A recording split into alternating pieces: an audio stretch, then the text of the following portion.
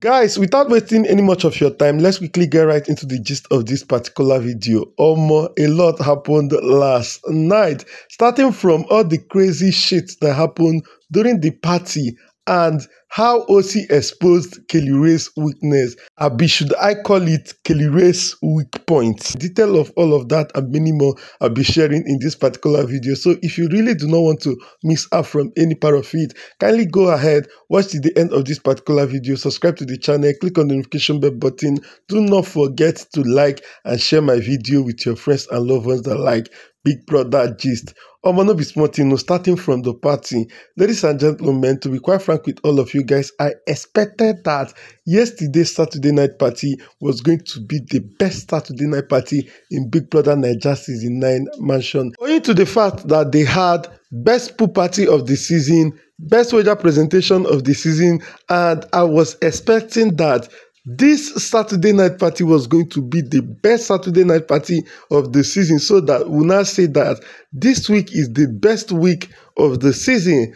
Guys, to be quite frank with all of you guys, the energies of this housemate, it was quite high to give us best Saturday night party of the season. But ladies and gentlemen, the little fault and the little problem that made it personally to me to seem as though, you know, we do not have the best Saturday night party of the season is the DJ. Guys, this DJ, hmm, like, she is a very, very good DJ, no cap. Like, the way she will be doing this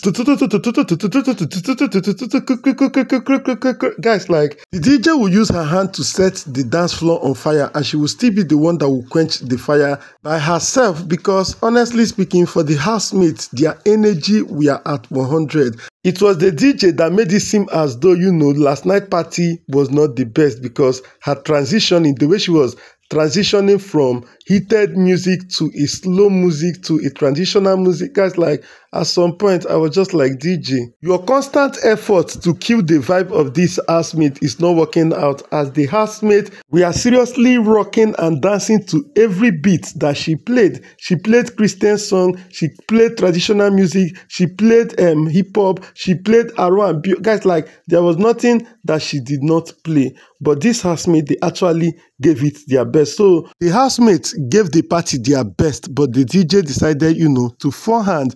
Guys, honestly speaking, last night party was so, so dramatic, more than dramatic. Because, my good people of God, the way Handi rocked Ozee last night, guys, at some point, I was just asking myself, uh-uh, where is all this energy coming from? Because, guys, this is the very first time I am seeing Handi and Ozee dance the way they dance last night.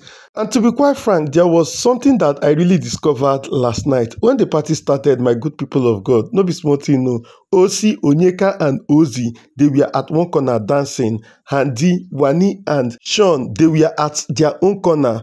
Victoria, Kellyrae, and Cassia, they were at their own corner, dancing and vibing. Suj and Tofa, ladies and gentlemen, they are two. Initially, when the party started, they were seriously dancing and having fun with themselves. Anita and Nelly, they were in the midst of other housemates dancing. Honestly speaking, seeing Topher and Sooj, the way they were dancing when the party started, I was just like, yes, this is needed. After that little altercation that, you know, wanted to happen between them when they were doing that Yagenes stars. Honestly speaking, I like how, you know, Sooj met Topher and they were all dancing it out, having fun, enjoying themselves. So at that particular point in time, these housemates, they were dancing with the people people that they are mostly connected with in the house, excluding Nelly and Anita. So before you now know it, so we started seeing whispering between Handi and Victoria. Honestly speaking, what they were whispering, I did not know what it was all about. And guys,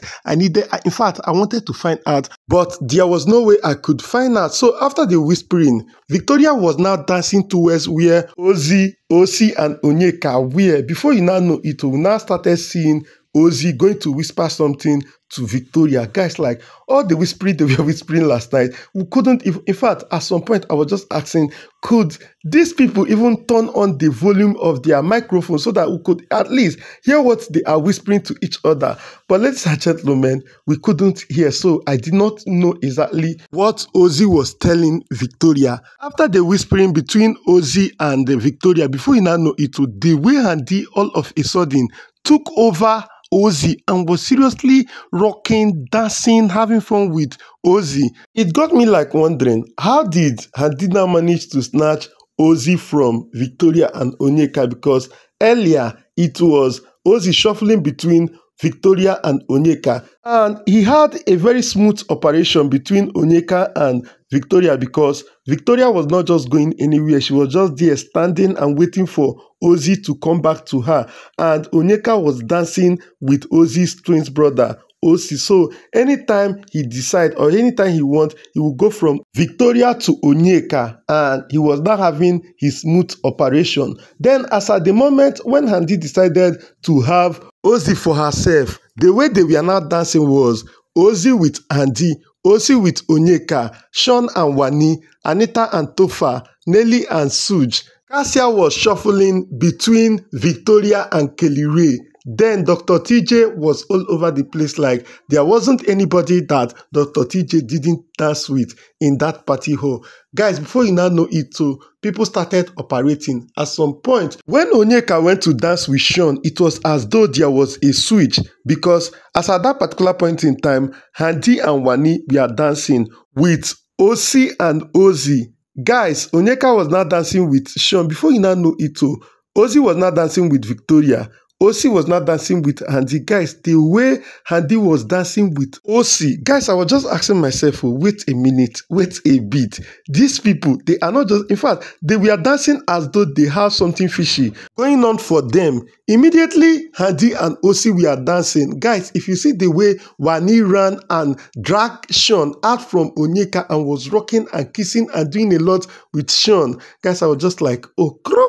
This is a very, very dramatic night. Guys, that was how Onyeka was now dancing with everybody. Like, there was nobody that Onyeka did not dance with on that dance hall. She even danced with the dancers. Like, the way she was, you know, demonstrating and doing with the dancers, I was just like, uh-uh, Onyeka, take it easy. Take it easy. Waiting with all of these ones. Guys, so, hmm, the one that really shocked and surprised me was how Ozee was dancing with Victoria, but still had his eyes on Onyeka, like the way he was having his eyes on Onyeka, not allowing or guys like when Onyeka was dancing with Sooj, and at some point they were hugging each other, it was as though uh, Ozee went to warn Sooj or went to tell Sooj to be. Guys, I don't even know what Ozee went to whisper to Sooj. It was as though Ozee would be dancing with Victoria, but his eyes and monitoring is on Onyeka, that was what I observed. Then after the party, oh, guys, there was a conversation that happened at the changing area and the people that were having that conversation were Ocee, Onyeka and Kelly It was Ocee telling Onyeka how he had discovered um, Kelly weak points. Just listen to what he said. Today taught me something. Yeah? I've been cursing this guy for eight weeks or nine weeks. He has never been angry. The minute I just mentioned Kassia's name, oh my guy won't kill me. My guy won't mod me. So I was like, okay, that's a no go. Yeah. But if you want me to say me, you know, they go that side.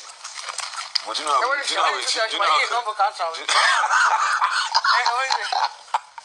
So why did you tell him? Why you know culture? Why did you tell me?